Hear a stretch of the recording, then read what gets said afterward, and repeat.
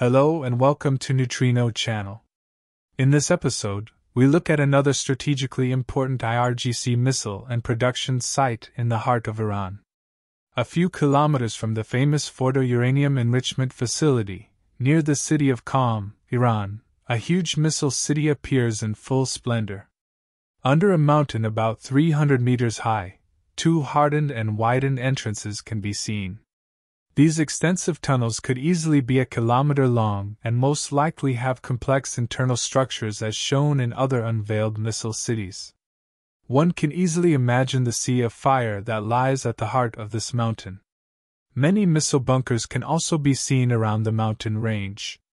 In a certain part of the area, a long strip of missile bunkers can be seen. A few hundred meters away from this place, countless missile bunkers also attract the attention of curious eyes. The white dots on the aerial photographs are the hardened bunkers. This heavily militarized area is literally completely covered by such white dots. In other words, from this missile hotspot, Tel Aviv can be directly hit by solid fuel castle breaker missiles in a series of very heavy and intense missile waves. Therefore, it is likely that many castle breaker missiles are deposited in this location. High voltage power lines required to operate this missile site and another adjacent missile production facility, as well as the Fordow enrichment plant and a nearby airport, can also be seen. The presence of an airport in the immediate vicinity of the missile storage facility once again underscores the importance of this strictly protected area just a few hundred meters from this missile city, under a mountain, is one of the largest underground complexes for research, development, and production of various types of missiles and high explosive warheads in a place named after the former Hezbollah commander. Aerial photographs of this facility show two wide entrances. The length of the tunnels can easily be several hundred meters, and they are expected to end in complex structures within the site.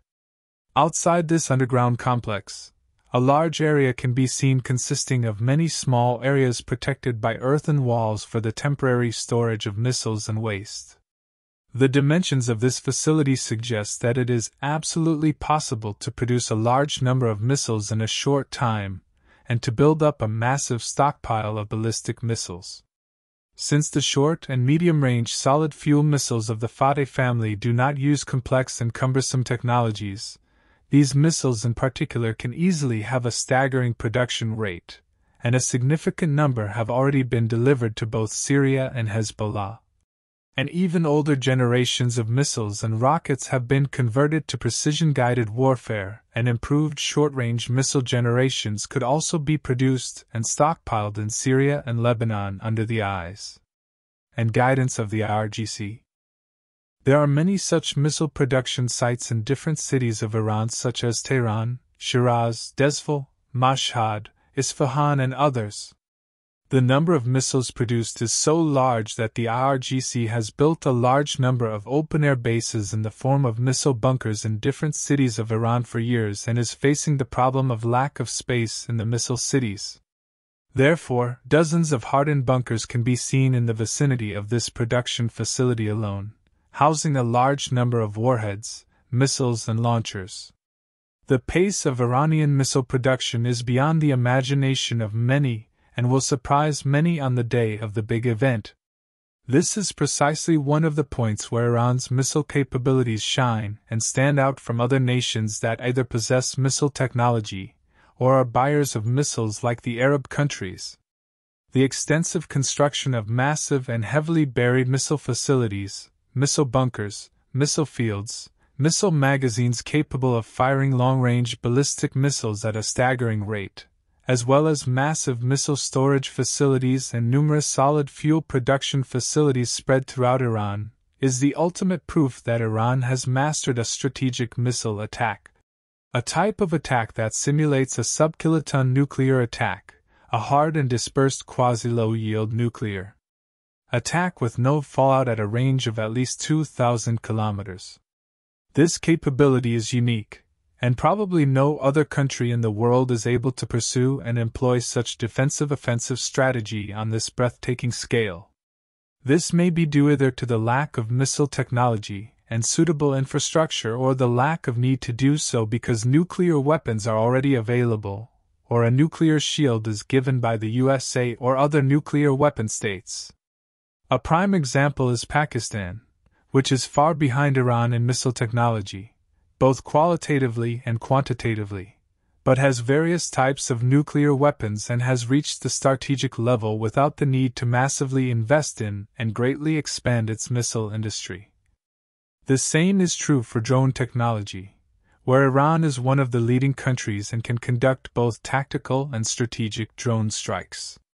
In comparison, Pakistan is essentially a buyer of drone products from Turkey and has very weak drone capabilities at home. But Pakistan's nuclear shield, which is currently developing even at a worrying pace, for those who care, guarantees the survival of the state and a second, devastating response, if needed.